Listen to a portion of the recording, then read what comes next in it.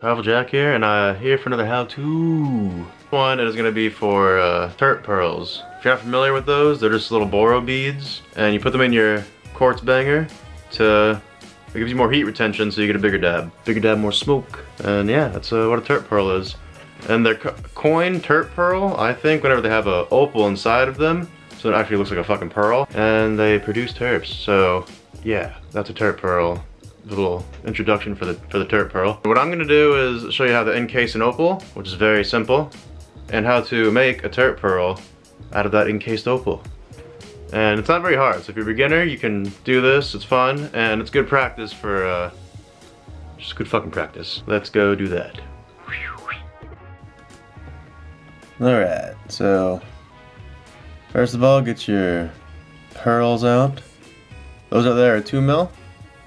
They seem to work best for uh, banger sizes. Uh, before I got bigger ones, and a, a big bead and a banger is kind of it doesn't work as well as the small ones do. But I like two millimeter sphere opals are the shit. They're a little bit more expensive, but they're worth it. So in the beginning, you want to get a blow tube, get a round bottom like so. Make sure it's clean. Get your little pearl out. Never touch your opal with your bare hands. If you get grease on it and you'll get little air bubbles on it.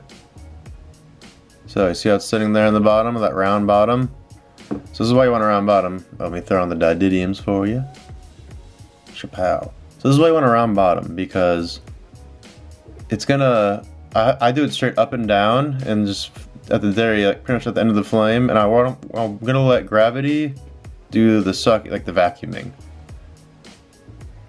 Sorry, I only have this fucking camera, I don't have the GoPro. I have to give it back to my buddy. But the, when you do this, the gravity of just it's encloses over the little sphere, and it leaves no air bubbles almost every single time. Like nine times out of ten, you'll have no air bubble. And I'll try and show you right here. And right now I'm sucking with the very lightest little suck. But see that? Now, whenever you suck the opal tooth, encase it, don't suck in hard. Do like a kiss, but very like like very slowly, but don't inhale also. Now this is the secret sauce. So I'm gonna heat up the very middle of the opal, pretty much the whole ball. I pull it out slowly. I'll try to show you, sorry. And I pull it out like that, kind of like you're pulling a stringer for a lippy. And now I'm gonna pull out the other side, closest to the right, or the right side of the opal. So now it's like a stringer with an opal in the center. And this sets you up for a good pearl.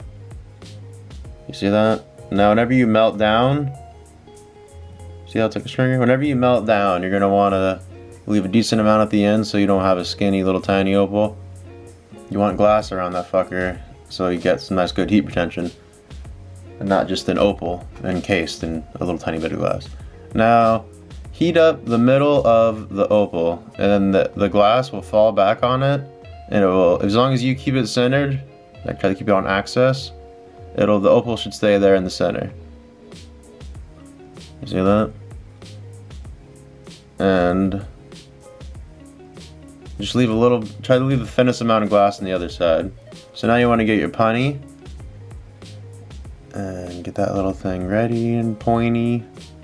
Make a nice point. You don't want a fat punty to connect to it because you want to barely connect to it right here because you don't want to leave any glass on there because you're about to break it off. Alright, now get the smallest little connection. People cold seal, what I like to do with a hot seal, stick it and then pull it off so it's like, the, it's probably like a millimeter of glass that's holding onto it. And pulling off the excess glass. So now you have that. You're not done just yet. You got, you got a circle, but it's not very uniform. So now Barely. This is, uh, it's all practice too. I've done like hundreds of these fucking things, so it's pretty, it just works first time or second time for me, but don't be, don't be pissed if it doesn't like a perfect circle or it melts to your punty. So now you want to get that. See how it's barely connected on there? It's pretty much like a medium seal. It's not cold or hot. And here's the secret sauce. You want to get it right on the very corner and hit the very tip Bam. So now there's almost zero glass. I should have showed you a little close up, but I wanted to do it quick before it, oh no, something happened. and you want to do that, that's, uh, I'm getting a little nub of glass on there. And then boom, you got a perfect sphere, near perfect sphere. Shebang! There you go, dude. That was a little how-to. You saw it. It's not that easy. Very, uh, or it is, it's very easy, not that hard. Like if you're a beginner, you can make a terp pearl and maybe the first like week or two. Not really that difficult. The most difficult part is keeping the the uh, the pearl round because if it's not round, it's kind of like oblong and eggy.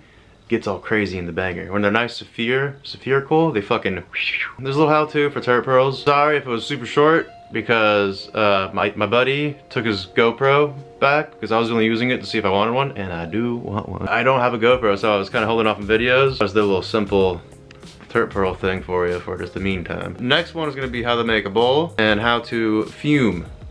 So stay tuned for the next one and I'm actually giving this little terp pearl away. I'm pretty sure you know on my Instagram that I'm doing that. Just drop a comment, please like the video and subscribe if you wanna see some more. Peace doggies.